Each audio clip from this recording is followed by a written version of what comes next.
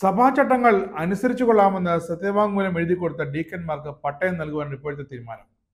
ഡീക്കന്മാരുടെ വാക്ക് പഴയ ചാക്കുമെന്നത് ഇവിടെയും സംഭവിക്കുമോ എന്നാണ് വിശ്വാസികൾ ചോദിക്കുന്നത്. അനുസരണ വ്രതം എടുത്തുകൊള്ളാമെന്ന് എഴുതി കൊടുത്തിട്ട് ദൈവിക പട്ടവും വാങ്ങി കയ്യിൽ വെച്ച് വിമതയുടെ താളത്തിന് തുള്ളനാണെങ്കിൽ അതാണ് നടക്കാൻ പോകുന്നത് എങ്കിൽ പിന്നെ എന്തിന് ധൃതി പിടിച്ചവർക്ക് പട്ടയം കൊടുക്കണം എന്നാണ് വിശ്വാസികളുടെ ചോദ്യം. അവർക്കിപ്പോൾ വേണ്ടത് പട്ടമല്ല സഭാസ്വത്തുക്കളുടെ പട്ടയമാണെങ്കിലോ? അതുകൊണ്ട് തന്നെ ഇപ്പോൾ ഭൂരിപക്ഷം വിശ്വാസികളും പറയുന്നത് ഇതാണ്. പട്ടം കിട്ടിയവന്മാരെ ചട്ടം പഠിപ്പിച്ചിട്ട് മതി പുതിയ പട്ടങ്ങൾ ഇപ്പോഴത്തെ വിമത വൈദികർ ആദ്യം നേരെയാകട്ടെ എന്നിട്ട് ഡീക്കന്മാരെ വൈദികരാക്കാം. സഭാഘടനയെ തന്നെ താറുമാറാക്കി സഭയുടെ പ്രവർത്തനം മുഴുവൻ സ്തംഭിപ്പിച്ചു. പുതിയ പട്ടങ്ങളെ പോലും മാനിക്കാതെ പോകുന്ന ഈ പോക്ക്. വിമത പൗരോഹിത്യത്തിന്റെ അതിക്രമം തെരുവിലിത്തിരി കൂടുതലായിരുന്നു. ഞങ്ങൾ എറണാകുളം അച്ഛന്മാരാണ് കൊന്നുകളയും ഞങ്ങൾ എന്നൊക്കെ കൊലവിളി നടത്തി ഇന്നും അവർ ലോഹയിട്ട് അഴിഞ്ഞാടുമ്പോൾ അതിലൊക്കെ എന്ത് നടപടി എടുത്തു എന്നാണ് ഇപ്പോൾ വിശ്വാസികൾ സഭയോട് ചോദിക്കുന്നത്. കത്തോലിക്ക സഭയിൽ അപൂർവങ്ങളിൽ അത്യപൂർവമേ ഉണ്ടായ ആ സംഭവവികാസമാണ് മാർപ്പാപ്പ ഒരു രൂപത്തിലെ വിശ്വാസികളെ മാത്രം അഭിസംബോധന ചെയ്ത് വൈദികരെ കുറിച്ച് മുന്നറിയിപ്പ് കൊടുക്കുന്നത്. അവരുടെ പൗരോഹിത്യം തന്നെ അസാധുവാകുന്ന എത്ര ഗൗരവമുള്ള വാക്കുകളാണ് മാർപ്പാപ്പ രണ്ടായിരത്തി ഇരുപത്തി മൂന്നിൽ തന്നെ പങ്കുവച്ചതെന്ന് ഓർക്കണം. രണ്ടായിരത്തി ഇരുപത്തി മൂന്ന് ഡിസംബർ മാസം ഈ വീഡിയോ സന്ദേശം പുറത്തു വന്നിട്ട് മാസങ്ങൾ പിന്നിട്ടിട്ടും ഒരു വർഷമാകാറായി. സഭാധികാരികൾ എന്ത് നടപടിയാണ് എടുത്തതെന്നാണ് ചോദ്യം. കാനോനികമായി തന്നെ വിശദീകരണം ആവശ്യപ്പെടാനും ആവശ്യമുള്ള നടപടി തക്കതായ സമയത്തിലേക്ക് എടുത്ത് നടപടിക്രമങ്ങളിലേക്ക് കടക്കാനുള്ള ഉത്തരവാദിത്തം അതുള്ളവർ ഒന്നും ചെയ്തില്ല. അത് തന്നെയാണ് ഈ വിമതയുടെ ശല്യം. ലോഹയിട്ടവരുടെ വിമത ശല്യം കൂടാൻ കാരണവും.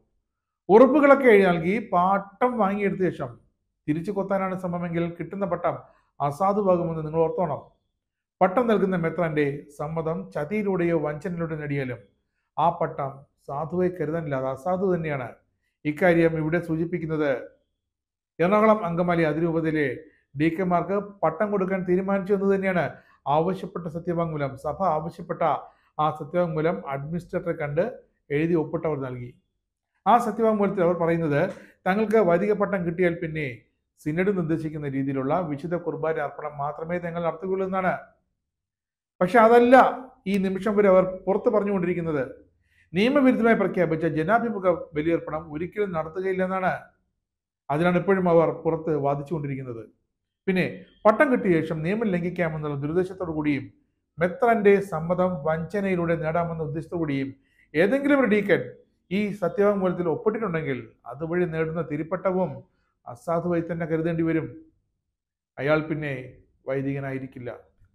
പൗരസ്ത്യ കാനോനിക സംഹിതയിലെ മുന്നൂറ്റി തൊണ്ണൂറ്റിനാലാം കാനോനെ അനുസരിച്ച് സാധുവായി സ്വീകരിക്കപ്പെട്ട ഒരു തിരുപ്പട്ടം ഒരിക്കലും അസാധുവാകില്ല.